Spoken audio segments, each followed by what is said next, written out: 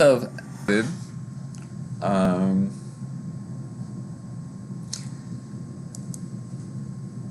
I actually did start to lay out the Mishnayot again. Uh, it, it, it, I, I really find out this whole subject really interesting. I keep, when I'm preparing, I keep going off on tangents, and then I remember, but like,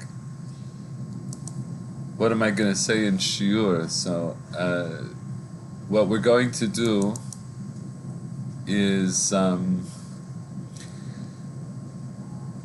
the what we're going to do actually is we're just going for now we're mainly going to continue still in the Mishnah.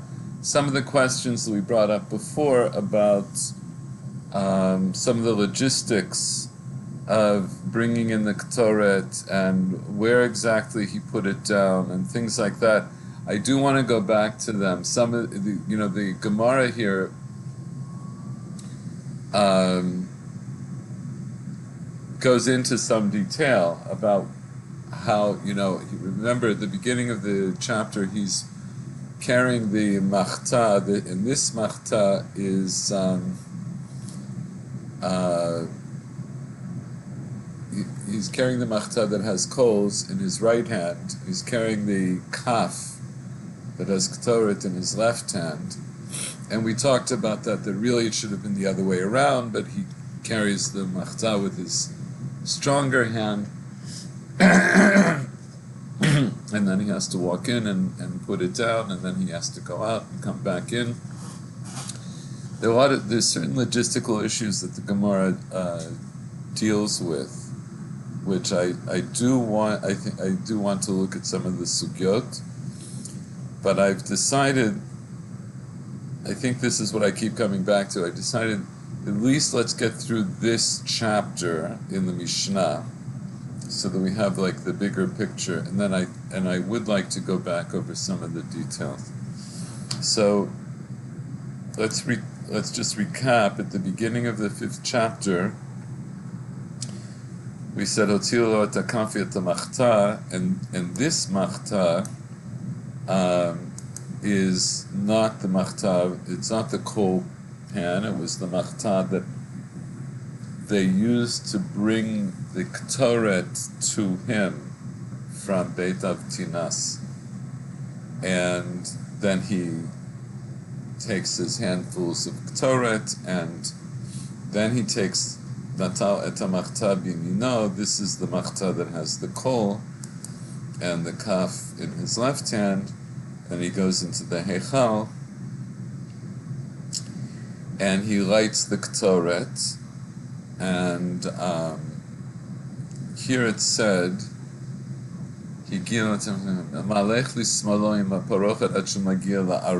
right? So he would go. He he walked in from the uh, from the Heichal from the south side. He went up to the north side and walked in between, you know, walked, walking in between the, par, the parachot, and then he comes out, and um, then it says he walks until he gets to the Aron, and he got when he Aron notenet machta ben shnei abadim.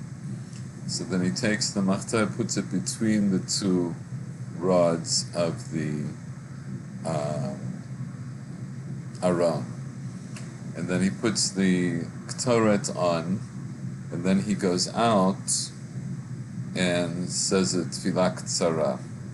So now, that of course would all have been done in Bayit Rishon. And here the Mishnah continues, it says, Mishanital ha'aron. Evan haita sham yimot nevi'im rishonim. Ushtia haita nigret, Gvoa min ha'aretz shalosh etzbaot, ve'alea aya. Okay, so from the time that the Aron was taken, right? So the Aron was not in Bayit Sheni. So of course he couldn't couldn't uh, put the Ktoret in front of the Aron. He had to um, he had to make do with what he had. So from the time the Aron was taken, right, it was hidden by Yoshia Melech in, in, toward the end of Bayit Rishon. um, Evan Aita Shamimot Nevi'im Rishonim. So there was a stone there from the days of the early prophets. Ushtia Haita Great. It was called Shtia. Gvoa Aretz Shalosh Etzbot. It was three fingers high off the ground. He would put the Ktoret, with, he put the Machta with the, and, and then put the Ktoret into the Machta onto this Evan. So the Bartanur explains Ushtia It's a, it's a very low step. So Yes. about you.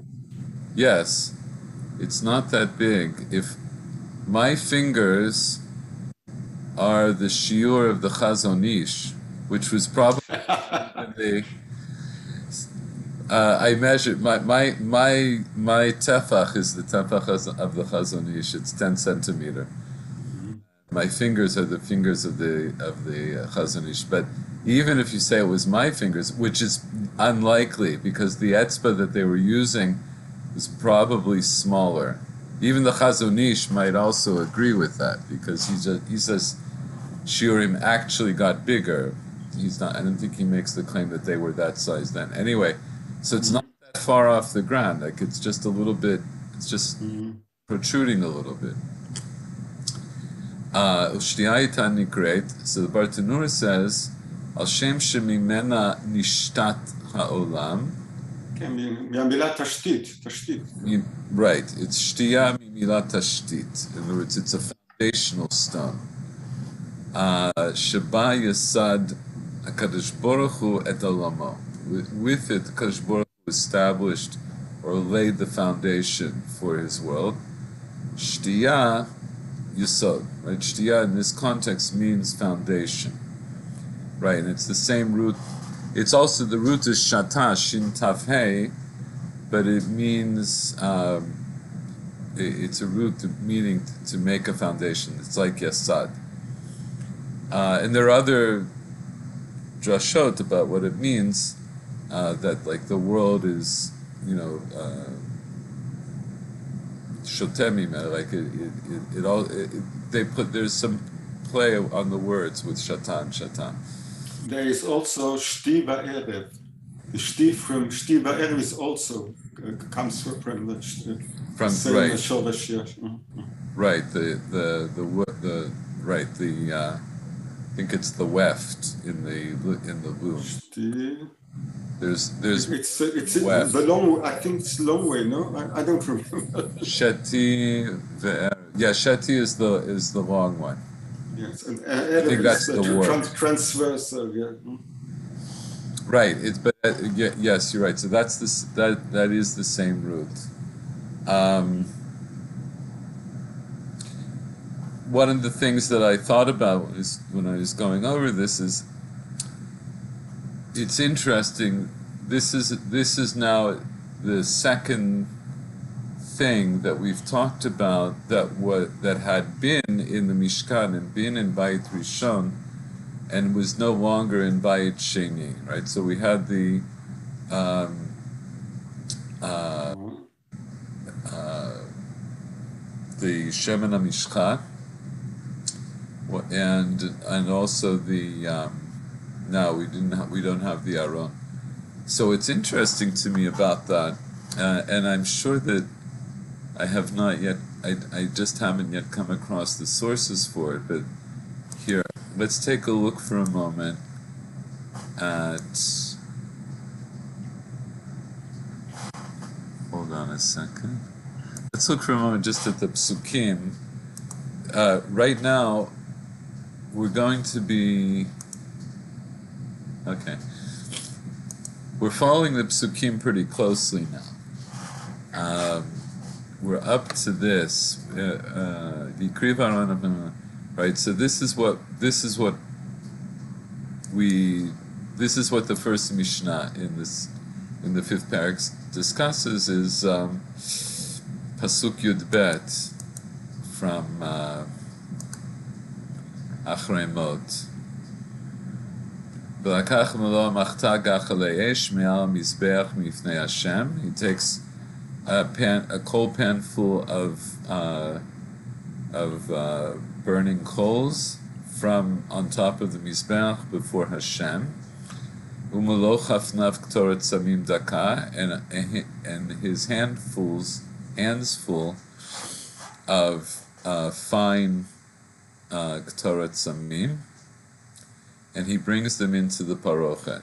So, by the way, here it sounds like he's literally, literally, literally holding the ktoret in his hand as he's going in, but that's not really how it can be done because he has to take meloch hafnav, he has to take both handfuls.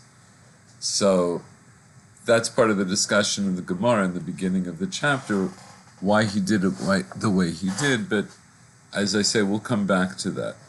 Uh, Pasuk Yud Gimel v'natana tektoret al ha'esh lifnei Hashem. So he puts the ktoret on the fire before Hashem. V'chisana naktoret tekaporet asher al ha'idut v'lo yamut. So then the ktoret, the cloud of the ktoret covers the kaporet, which is on the edut, right? So the kaporet being the panel that's on top of the aron, uh, and that's on the edut, right? The luchot that are inside of the aron, velo yamut, and he won't die. So, meaning if he does the ktoret properly, he won't die, and if he doesn't, he's chayav mitah.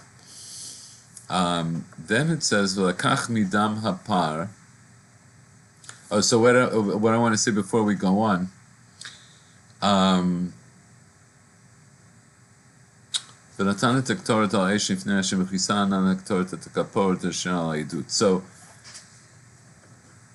the uh, the the the language here is interesting for a couple of reasons. One of them is it doesn't mention the aron; it talks about the kaporet, which is on top of the edut, right? But the word aron is not used. The kaporet, as we know from Parshat Truma, it's you know it, it's its own kli uh, which sits on top of the kli, which is the aron. But you might you might wonder how you know was there any discussion at the time when they come to do Bayit Sheni? Were there any people who said we can't do this at all because we're missing the kaporet? We don't have the kaporet, so we can't fulfill what it says in this pasuk. Apparent, so apparently not. You know, it's because they did it, but it wasn't it, uh, the. Even though they were missing the aron, which arguably is the raison d'être of the entire Mishkan and the entire Beit Hamikdash, is for the aron, and here we see that it seems to be part, an, an integral part of this avodah, which is certainly, you know, a singular avodah. It's only done once a year. You might have made the argument that you can't do this without without the aron, but that wasn't the argument that was made. You know, apparently, the what the argu- if there was an argument, the argument that went out is, no, we make a beit mikdash regardless.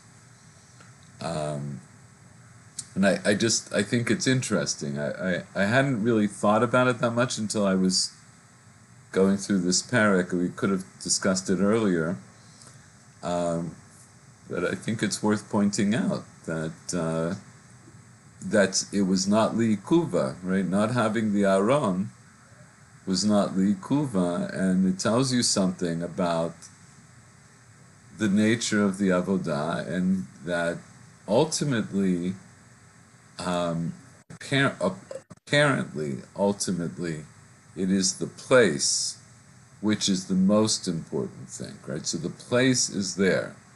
And, the, and we see now the Mishnah goes out of its way to explain there's this thing, the Evan and that has its own significance, even though the Torah doesn't mention it. Right, and it, it said, in fact, it wouldn't have been in the Torah, right, because it says Mimot uh, Nevi'im Rishonim. Just a second. Um, Shel? Yes. Yes. And something strange I'm thinking about. When I think of the Ktoret, I, I'm thinking about the smell, the good smell which comes out of the Ktoret. But here it, it doesn't seem to be the purpose. The purpose is to to to, to create an, an, an anan, and uh, so that you, you wouldn't see the inside of the you would be completely inside an um, how do you say anan? The smoke. yeah, The smoke, the the, cloud. the, the, the cloud, the smoke, it shows that this is the purpose. Nevertheless, when we read it, it every day how, how the, the Torah, um, how, it, how, how it is composed, you have Right. a lot of Kitumak uh, the Torah, samim, yeah. of samim which go in in the, in the Torah. So, uh, so yeah, and so this is one of the reasons I, I mentioned in uh, previous shiur that it seems that so this ktoret, even though it's going to presumably it smells the same, it's the same ktoret. It's just more finely ground, and we learned in the Mishnayot in Masachet Tamid that the ktoret was, you know, had a profound uh, uh, aroma Oh, yes. went as far as Yericho, and that the, that the that the young women in uh, Yerushalayim didn't have to lehit kashet because they they everybody smelled good from the Ktoret. So presumably that would have also been true here, although it's also true that Kodesh Kodashim was more atum, right? It was more closed than the than the Hechal. The Hechal had uh, windows, Windows, yes. the slits that went out, um, and the doors would have been open. And here it's more it's more contained. But what you're saying is true, and this is why I mentioned in previous times that it seems that the purpose of the Torah here is it, maybe primarily just to make the anan and like and and we talked about it that it's this is a real uh, reenactment a recreation of uh, Kabbalat Torah the anan right? Which is also the second luchot where uh, Moshe comes down on Yom Kippur right? Or he go wait he yeah he comes down on Yom Kippur so that seems to be the main purpose, is to make it, like you said, and that seems that pasuk, right? It's implied by the pasuk that you make the anan. You have to make the anan. And also, it's also interesting, right? He makes the anan and he walks out immediately. I'm also thinking, presumably, that's also a practical thing because I'm thinking when you put the Torah down in the beginning it must be almost impossible to stay in there and breathe. Right? It's filling up with smoke. And remember, there's also in the Ktoret, there's Ma'aleh Ashan, right? There's something in it that makes it. And, uh, and so it must have been, I mean, he's going to go back in, but I'm thinking like in the first few minutes, it must be especially difficult. That, I don't know. We don't have any Kohanim Gedolim to ask them uh, that's what it seems to me. So here in the Mishnah Bet, when it talks about Mishnah Tal Ha'aron and all of that, the Mishnah, I think, is trying to do two things. One is it's telling us that, yes, everything we said in the first Mishnah is true as long as you have an Aron, but they didn't have an Aron in the second temple, so, so but they did have Evan Shtia. They, they did have Evan Shtia. And so that, for the purpose of this avodah, is going to take the place of the aron. So, what? So now, the uh, um, Evan Haitasham Mimot Nevi'im Rishonim. It's from the time of the Nevi'im Rishonim. Um, so, if it was there from the time of the Nevi'im Rishonim, what does it mean? When the Bartanur says, Al Shem Shemimena Nishtata Olam. In other words, it would seem to have been there from Maaseh Bereshit, right? And as Hashem uses it, he makes he he he makes the world from it. I think the it's called Tiburo Olam. It's like the navel of the universe. Uh, so that's that's um, a bit of a question. Um, and this is, you know what? I'm not going to go into. The, I, this is one of the things I want to come back on. I, I do want to talk about this more. This phenomenon of the Evan Shtia. And but just even with what we have now, there seems to be a correspondence now between the Aron and the Evan Shtia, right? So that by putting the, the Evan Shtia takes the place of the Aron for the purpose of this avodah. So why would the Evan Shtia be a, a worthy um, counterpart to the Aron? Right? In other words, what we don't have the Aron, so we have, but we have the Evan Shtia. The Evan Shtia doesn't have the Luchot. So why why should it be worthy of of you know, being, uh, of, as it were, taking the place of the Aron. Could it be that the Evan Shtia was also in the first temple and the Aron was put on, on top of it? It would seem so. In other words, that seems to be true. In other words, even just based, again, just based on what we see, Evan Aita Shamimot Nevi'im Rishonim, that would be the you know would be the first temple. You know, the Rishonim would include the Nevi'im who were in the time of Shlomo Melech, presumably, when he builds the temple.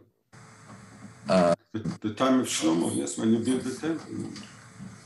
That was Shmuel was there. so there, I, I guess what I'm getting at though is I think I think. Um, there's a, there's a kind of a conceptual relationship that Evan Shtia is this Evan that Hashem uses to make the foundation of the universe. And that's also true of Torah, right? Hashem looks in the Torah and he creates the universe. So that those two things have a direct relationship, and that's presumably why the Aron does sit in the place, you know, it sat on the place of the Evan Shtia. And so even if the Aron isn't there, but the Evan Shtia, which is, you know, eh, which, which represents also the founding of the universe, is an appropriate place to put the Torah. That, I think, I think that those two things uh, should be related because otherwise, Zekol Tov Yafed, that there's this Evan Shtia there, but why should that be Ra'ui, right? Why should that be worthy of uh, or appropriate for putting the Ktoret there? But I think that it's it's more than that. It's the nature of the Evan Shtia uh, shares something with the nature of the Aron itself. So even though they did not have the Aron, they don't cancel, they don't they don't not make a Beit Hamikdash. They do not cancel the Avodah of Yom Kippurim just because they don't have an Aron. Presumably, this is a sufficient, if not substitute, but it's a it's a sufficient um, thing to have in order to be able to accomplish this Avodah. So it is the place, but it's also the thing. It seems that it's it's essential that if if not the Aron, but at least the Evan Shtia should be there. But this is also the way we, we look at the Kotel HaMaravi. Uh, the, the, the, the, temple is no more there, but we have still we have we do have the, the Kotel. So we, the Kotel. we pray in, in, in front of the Kotel. So there, in that case, it could be the same. That uh, the Aron is uh, well, it, it uh, wasn't there anymore. It, זה נגנז.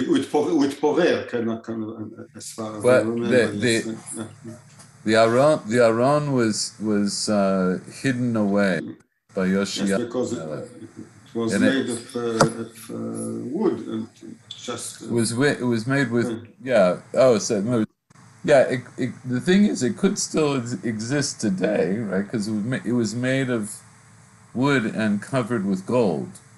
Uh, s- Mm. you know, there there are you know there it could still exist, and the t- and the luchot were stone, so presumably they still exist.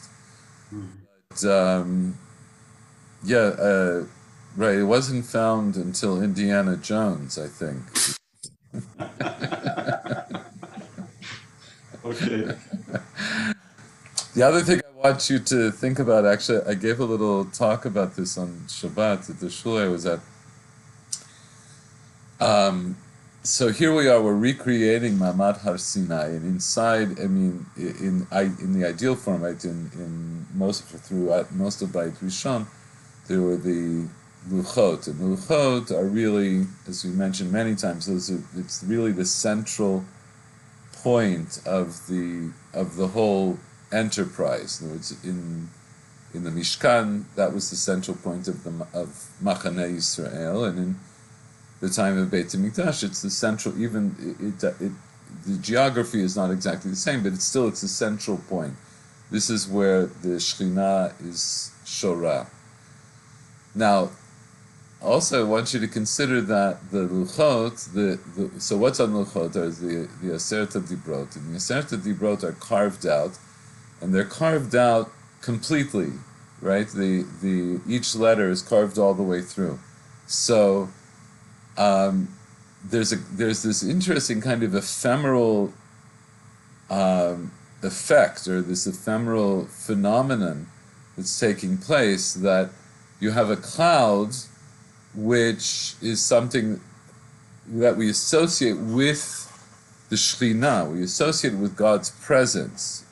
Uh, and not only on Har Sinai, but also later on in the Midbar, Hashem speaks to uh, Moshe from uh, uh, from the cloud, right? Uh, Gam Anan, like he talks to him from the cloud. And the cloud is something, even though yes, we know that it has a phys- there's a physical substance to it, but it's it's not something you can hold in your hand. And what and and the and the and the focal point are the words, and the words on the of the luchot is also are also not something that, that they're they're also not there, right? it's the thing that's not there. And I think these things uh, point to, you know, like Sod Hashem. There's some. There's this. This. These are like the mysteries of God. They're things that you perceive in a certain way, but they're not there in a physical sense for you to hold on to them. And yet they are they are the most important thing, right? So the word The, the letters never were never there because the letters are carved Exactly. out. Yeah, yeah. Mm-hmm. Exactly. That's exactly the point. There's the letters, which are the most important thing, are the thing that isn't there. Right? Only through our perception that we, we can perceive that they're there because of the stone. The stone, what you know, that's around it. If not for the stone, uh, if not for the stone, then you could say like, okay, for Hashem the letters exist, but only Hashem would be able to perceive the letters. We only perceive them because God put the, you know, made, you know, made the letters, uh, you know, or cut out the letters from the stone. So there was this mess that uh, the, the, the middle of the summer still, Some- still was there. so it, yes, it was, right. The, Gem- the Gemara says. the The Gemara says, "Mem v'samech shebeluchot sayu amdim." The mem stuna and the samech. And according to the Yerushalmi says, according to the Mandamar that says uh, that the Torah was given in Ktav Ivri, then uh, the ayin stood benes. The ayin was a closed loop in uh, Ktav Ivri. the the old Da- kind. The ayin, I I don't know Ktav Ivri very well, but if you look at uh, the, uh, if you look at Ktav Ivri, the ayin in the Ktav Ivri is very similar to the ayin that we do in script. Almost the same letter. And uh, so yeah, so yes, so odioter, right? In other words, Hashem makes sure that we can perceive the letters ad kedei kach that He has to make certain letters stand by way of a miracle. But the letters aren't there, right? The letters are not actually there. I just think there's something deeply profound about that. Um, let's go on and uh, do a little more. The letters you write, they are there. They are there, right? But remember, like you know, when it talks about the Asara Harugei Malchut and Rabbi Chanina, he's they wrap him in Sefer Torah and they saw Otiot Porchot Ba'avir as as he as he's burning. And that's also it's a very it's a very mystical, but it's a very striking image. What does that mean, Otiot Porchot Ba'avir? So the simple understanding of Otiot Porchot Ba'avir is it's a similar idea. In other words, the sofer takes ink and puts it on klaf. If there's no klaf, then the letters are porchot Bavir.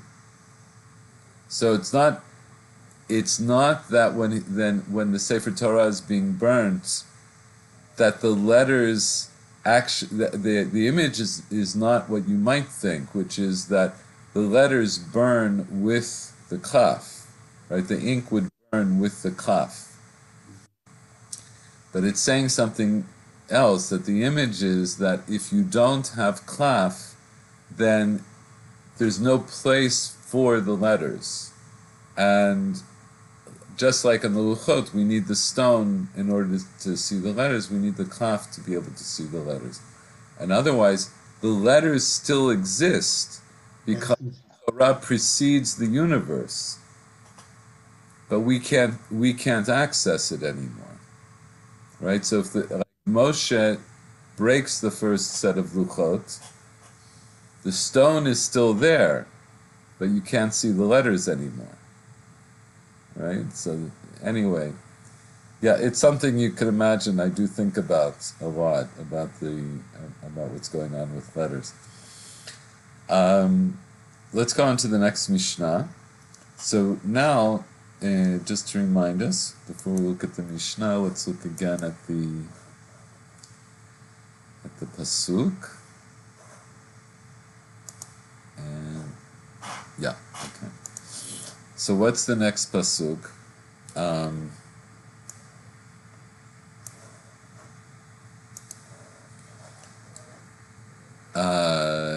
so the next pasuk, right? So he uh, pasuk Yud Gimel, he put the Torah on the fire etc. Pasuk Yudad v'akach midam hapar v'hiza be'etzba'o penei hakaporet kedma. So he takes from the blood of the bullock and he sprinkles with his finger on on the front of, or it could be on the front of, or in front of the kaporet eastward.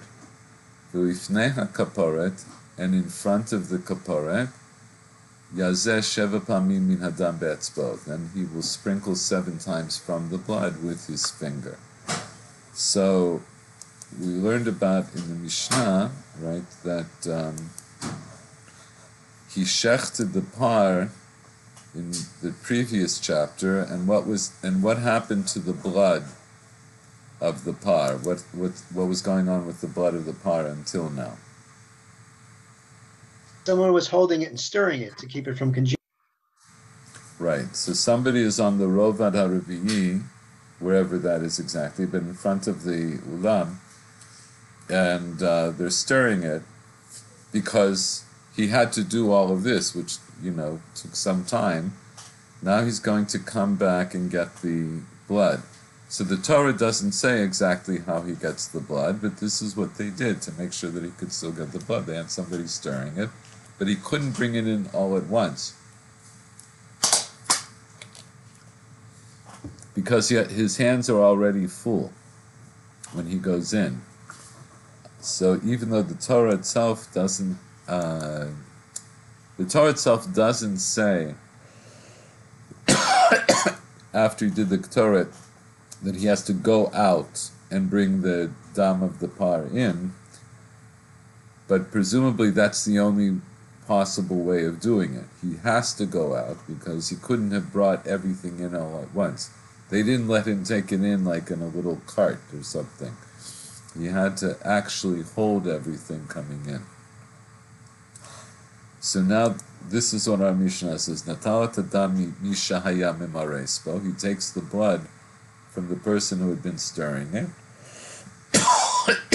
so he doesn't have to go very far, but he has to go out of the Kodesh Kodeshim through the Hechal, through the Ulam, and then he has takes the blood and he goes back in. Um, Nichnas makom shenichnas. He goes into the place that he had uh, gone into. V'amad bimkom shamad b'makom she'amar. He stands in the place that he stood. V'hizam mimenu achat l'ma'ala v'sheva l'mata. He sprinkles from it once toward, toward above and seven times toward down.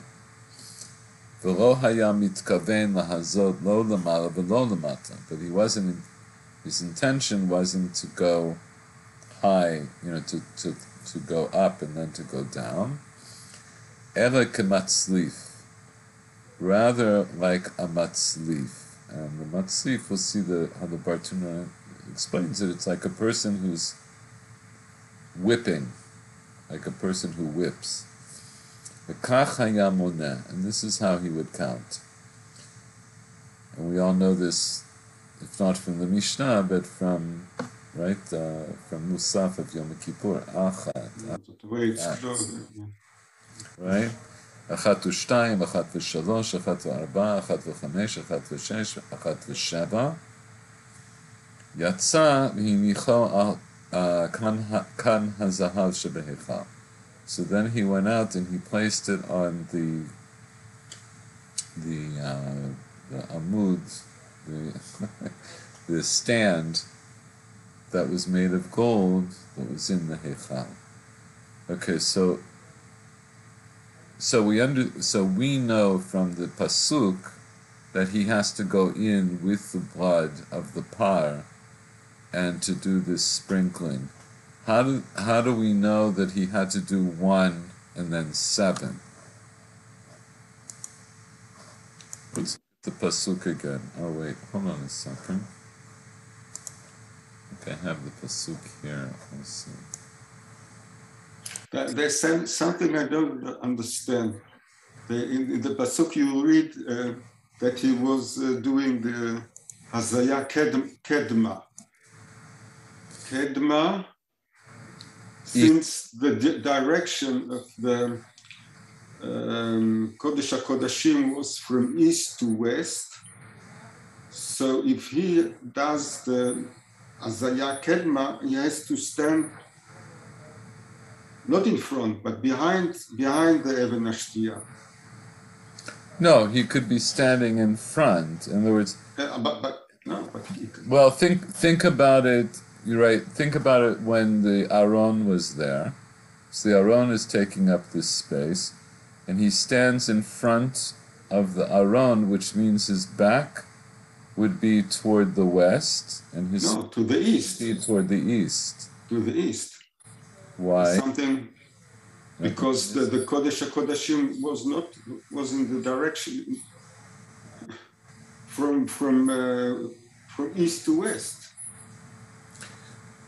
Yes, but the Ar- so, but the Aron, uh, the Aron, the Aron would be fa- the Aron itself also went east to west, but unless I I'm think so. No, and he would be standing. Wrong.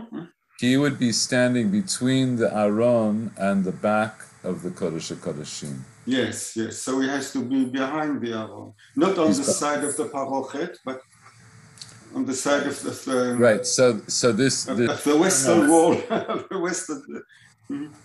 right. The west is behind him. Mhm. His face is facing the east. Mhm. And we'll see in a moment, right? So he does this. He has to do it with the with the damasir, and then he's going to take both damim and do it from the heichal, where his back will be toward the east and his face will be toward the west, because he's Mm. both sides of the parochet, Mhm. sides of the parochet. Um, we'll get to that in a moment, but wait, there was something else. לקח מאיתם הפר ויזע באצבעו פני הכפורת, קדמה ולפני הכפורת יזה שבע פעמים. Right, so this is the pasuk. V'lakach midam hapar, v'yiza be'etzba'o penei hakaporet kedma. So Chazal understood that's the first hazaya, that's the first sprinkling, what it says in the beginning of the pasuk. Um, kedma. And then it says, V'lifnei hakaporet yazeh sheva pamim min hadam be'etzbo. They understood those were two different actions. They were two different sets of actions, pulot. So the, the beginning of the pasuk is to do one, and then to do, and then the second part of the pasuk is to do seven.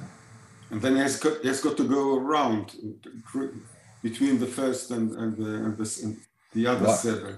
Why do you, s- between the one and the seven, why do you say that? because ולפני הכפורת יזה, when you, קדמה he does one, and afterwards he goes לפני הכפורת, so I mean, I, I understand between the kaporet and the uh, and the parochet, so he's standing on the other side. You know what? I hadn't thought of it that way, but that apparently that I that's don't know, I, I just no, no, no. Apparently that right, exactly. That's what we're trying to do. So apparently that's not what happened. So let's look a little more closely now at the Mishnah and uh, and the Bartanura. Natarot adami mishayama marespo nichnas makom shenichnas v'yamot b'makom shaman v'yizam mimenu achat lamar b'sheva lamata. So let's look at the Bartanura. The makom shenichnas. רק שנייה. Uh, Beveit Kodesh HaKodeshim, right? He goes to the place where he goes, which is in the Kodesh HaKodeshim, and he stands by Makom Shemad Ben Hamadim. So he's standing between the two staves, the two rods of the of the parochet. Aron, of Ah, the בדים, Aron. ah, bad, הבדים, the, yes, The okay. ba- Those, those are the badim of the Aron. Mm-hmm. Mm. So he's placed squarely in front of the Aron. ויזם ממנו אחת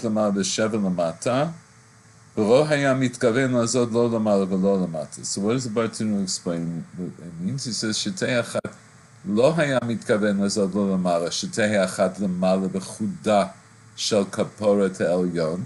He's not aiming for the top uh, edge of the kaporet, and then the seven, and then you would say that the seven, vasheven lamata ba'ovya, and the seven would be lower down in the width, you know, on the width of the uh, of the aron. Sharei lo ahakaporet nogim. The blood isn't actually supposed to fall onto the kaporet at all. Ela la'aretz nothing. It's supposed to, he's supposed to sprinkle in such a way that it's going to fall on the ground in front of the aron. So rather, Ela lo yamit yamitkaven la'azod lo lamar v'lo lamata, Ela kematzlif. What does he mean? Kamalke hazeh, like the one who is uh, whipping, shematchil ben haktefaim. Yored Lamata. This is a little bit chilling, right? But it's like starts whipping between the shoulder blades of the person he's whipping, and then he proceeds downward down the back. כך היה מתכוון שיש שמונה הזעות הללו בארץ כשורה, זו תחת זו.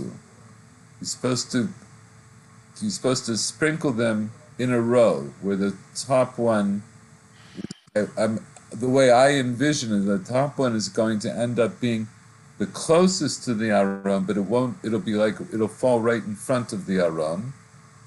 And then each subsequent one is going to go back a little bit. So he doesn't say this bimfurash, but based on the, on the analogy, it will look like Amud Shidra, right? It'll be like vertebrae coming down in front of the Aron. And he's like, so I don't know how, I'm not sure how far this metaphor goes of Matzlif, but that's the image that, that you get. Uh, and so when he counts, he doesn't count one, two, three, four, five, six, seven, eight. He counts one, and then achat va'achat. So why does he do that? Achat va'achat she'im lo If he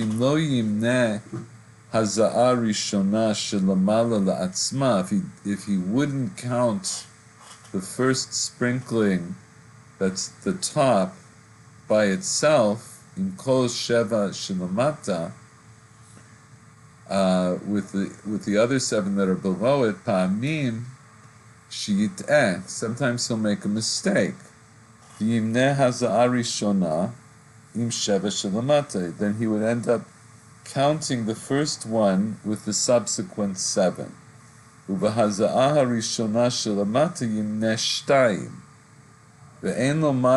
and so, so you, he might instead, in other words, instead of saying achat, and then achat, shtayim, shalosh, arba, v'chulei, he might say achat, and then shtayim, shalosh, arba, chamesh, shesh, sheva, shmona.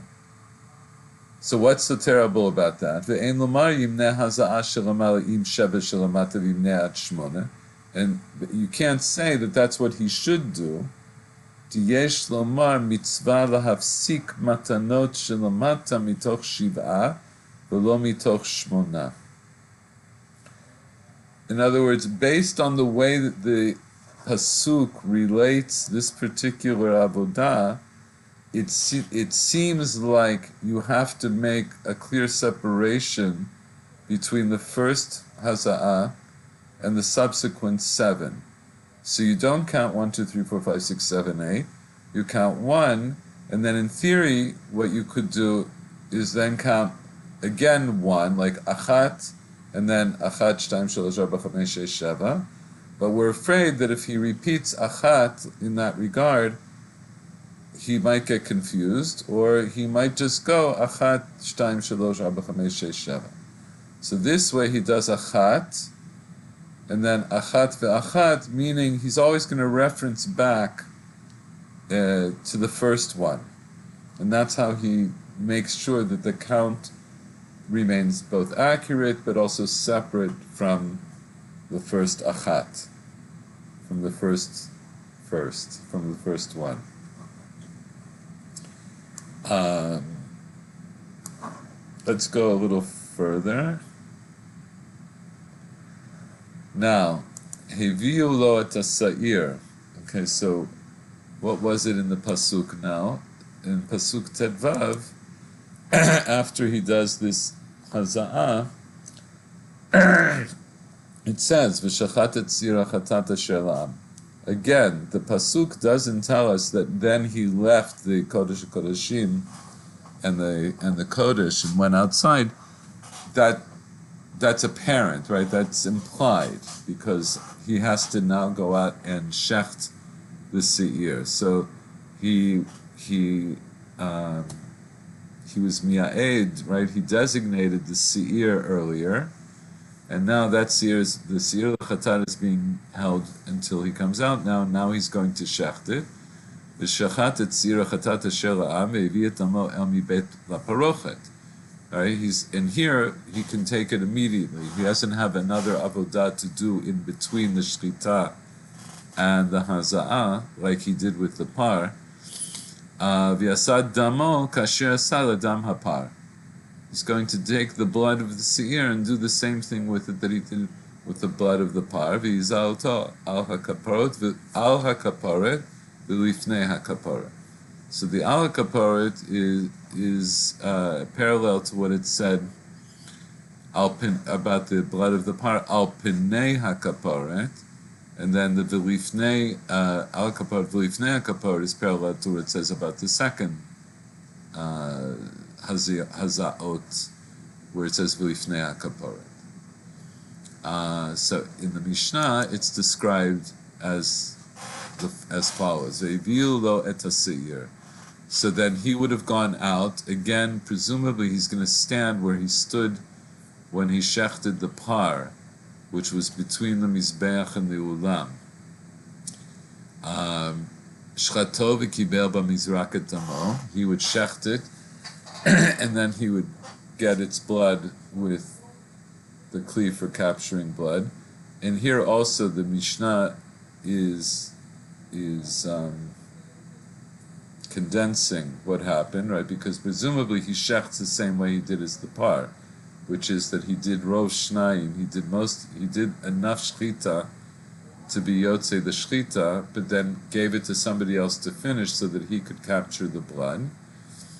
So he captures the blood, nichnas imkom shenichnas, v'yamad b'mkom she'amad, just like he did uh, now for the Ketoret and for the Dam Hapar. Now he's going to do the stand in the same place as for the Dam HaSeir. V'yizam mimeno achat lamala b'sheven lamata in the same way that he did for the par. V'lo haya mitkaven lazot lo lamala v'lo lamata ele kamatzliv. וכך היה מונה אחת, אחת ואחת, אחת ושתיים, אחת ושלוש, אחת וארבע, אחת וחמש, אחת ושש, אחת ושבע. So the the blood of the par he put on a stand, on a golden stand that was in the Hechal, and now Yatsa v'hinicha al kan hasheni shahaya b'Hechal. There was a second golden stand, and he would put the blood of the seir on the second golden stem. Rabbi Yehuda Omer, lo hayasham elakan echad bilvan. Rabbi Yehuda said, actually, there was only one kan, and that's the same kan that he put the blood of the par on. Natal dam hapar, v'hiniach dam haseir. He takes the blood of the par that had been there from before, and he puts down the dam haseir. V'zamimenu al haparochet shekeneged ha'aron mibachutz. So now he's going to sprinkle onto the parochet or toward the parochet in correspondence to where the aron is, but now but from the outside. Achat lamala v'sheva lamata. So, sorry, so he left. He's now left the Kodesh Kodeshim. Yes, right, because here it says yatsa v'hinicha al kan hasheni. Let's go back in a minute for, for a moment to the pasuk. Right, so pasuk tetvav was the hazah of the of the blood of the seer inside, and pasuk tetzayin says v'chiper al hakodesh mitumot b'nei Israel that the purpose of that sprinkling was to be uh, to bring kapara for tumot b'nei Israel mitumot to be mechaper al mitumot b'nei Israel. Rashi explains what was that? What is that? Ahanich. It's to be mechaper ahanich nasim mikdash betuma v'lo noda lahem basof. It's people who walked into the mikdash when they were tamei, and they never found out, even later on, that they had been tamei. Shenema v'chochatotam v'chatat hu shogeg. So, and um, yeah, if you've ever learned the beginning of uh, Masechet Shavuot, that's where this is discussed about what um, different types of shogeg and different kaparot for different kinds of shogeg. The particular chet that's being that uh, that's being um, atoned for here is this chet of people who were b'shogeg. Actually, it, it also covers the mizidim who go because it's uh, because the hemshech of the pasuk says. Um, eh, eh, eh, it says, uh, "V'chiper al kodesh mitimot b'nei Yisrael u'mipishehem v'chochatotam." So chatotam v'chatatu shogeg u'mipishehem. Rashi says, "Af anichnasim mikdash mezid b'tuma." This is to be mechaper for anyone, whether they were shogeg and didn't know. They never were. They didn't find out ever that they had been tamei when they walked into the mikdash, even if maybe they had known before, but then they didn't know later, and but also even mizidim. So that's what this is accomplishing. Then it says, uh, pasuk yudzayin v'chol adam lo ba'ohel moed Biva'o lechaper bakodesh ad seito. So now no one else is allowed to be in the Ohel Moed. In other words, in the Kodesh, in the Hechal, because now he's in the Hechal, and now he's going to do this avodah to be mechaper al Hakodesh, and no one else is allowed to be in there at the time. V'chiper ba'ado u'va'ad beito uvaad kol kahal Yisrael, right? Because now he's going to sprinkle the blood from the par, which is for him and for the kohanim, and for the you know, and the blood of the seir, which is to to be mechaper for shar ha'am for for bnei Yisrael. Um, so here let's just uh, understand.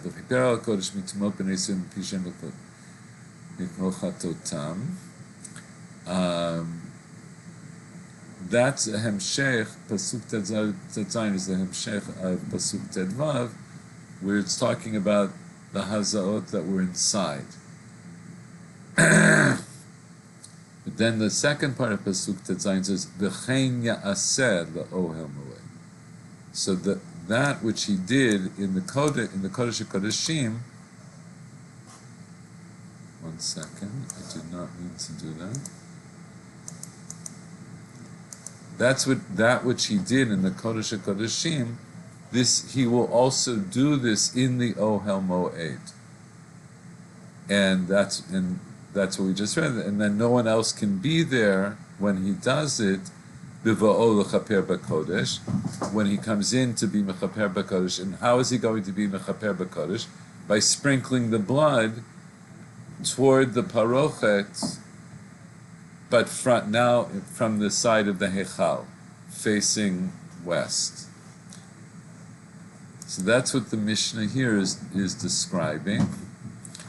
יצא והניחו על כאן השני שהיה בהיכל, רבי יהודה אומר לא היה שם אלא כאן אחד בלבד. So what did he do? Natal dama parvi niach dama sa'ir v'yizam menu ala parochet shekeneged ha'aron mibachutz. Achat lamal v'shevet lamata and the same thing. Lo haya mitkaven lazod lo lamala v'lo lamata el kamatzrif in other words he does the pula the action of sprinkling is exactly what he did inside the Kodesh HaKodeshim and then he would count the same way, right? Because the pasuk says Ken ya'aseh, but the Ohel He's going to do the same thing in the Ohel Moed as he did in the Kodesh Kodeshim. ככה achad אחת achad achad, אחת ואחת, אחת ושתיים, אחת ושלוש, אחת וארבע, אחת וחמש, אחת ושש, אחת v'sheva.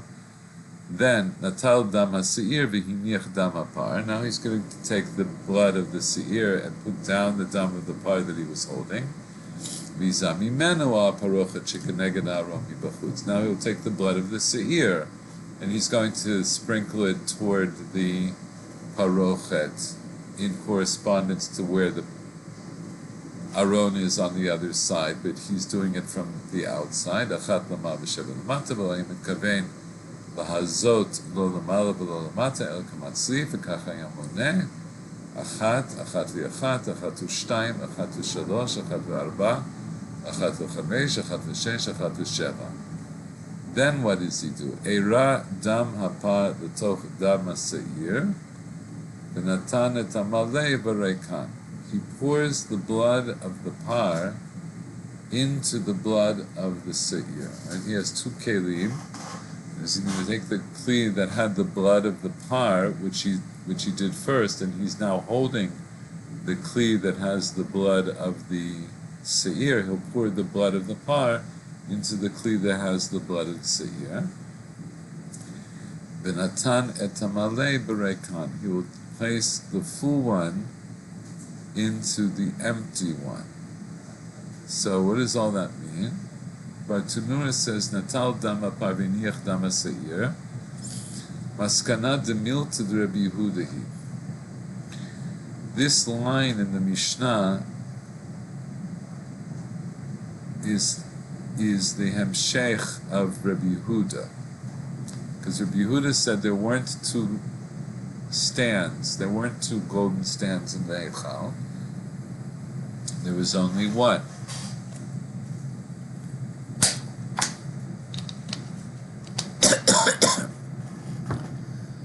and the, the stand presumably only had room for one of the kelim. So what he would do, according to Rabbi Yehuda, is he would take the blood the cleed that is with the blood of the par. He would pick that up, and he would put down the cleed that he had just brought in from the shchita of the damasir. That's the conclusion of the of the word of Rabbi Yehuda. Damar lo hayasham kan echad. There was only one stand. But tzarichi tol dam par tchila, and you have to take the dam of the par first. Kedei la'aniach dam seir bakan shahaya alav dam hapar. Vein halachak Rabbi Yehuda. But the halacha is not like Rabbi. So then he sprinkles the blood al haparochet dichtiv b'chein yaseh la'om like we saw in the pasuk. And then when he's finished Erad Dam Hapar, into the Dam of the Sa'ir, Dichtiv b'matnot ha-mizbeach v'lakach midam hapar u'midam ha-Sa'ir midam shnehem yachad. Right, so that's the hemshech here in the next pasuk. Yatzai la-mizbeach asher lifnei Hashem v'chiper alav V'lakach midam apar u'midam sa'ir. When he goes out to the mizbech, uh, Hashem, what does it mean? It's the mizbech, it's the of the ktoret inside. Uh, he's going to be mchaper on that as well. Here he's going to take both bloods at the same time. He's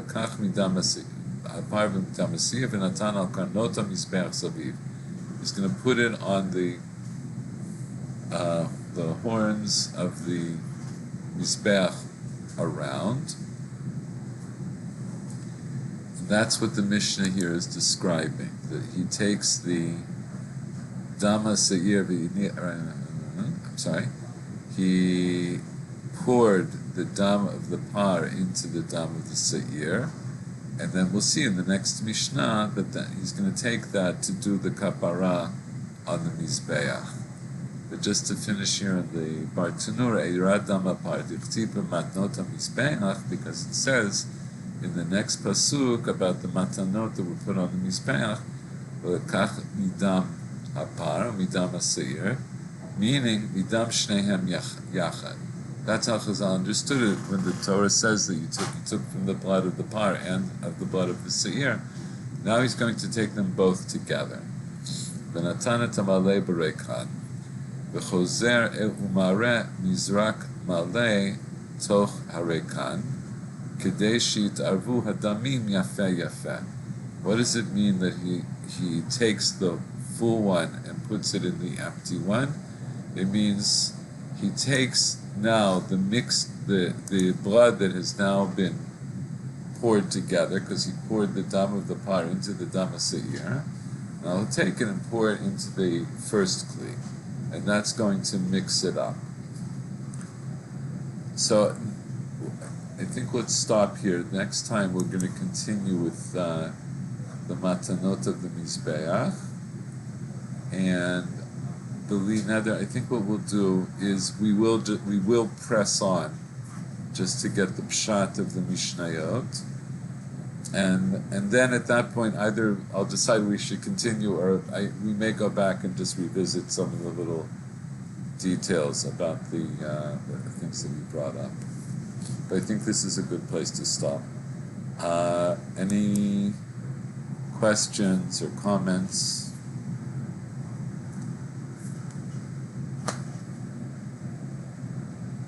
No. Okay. No.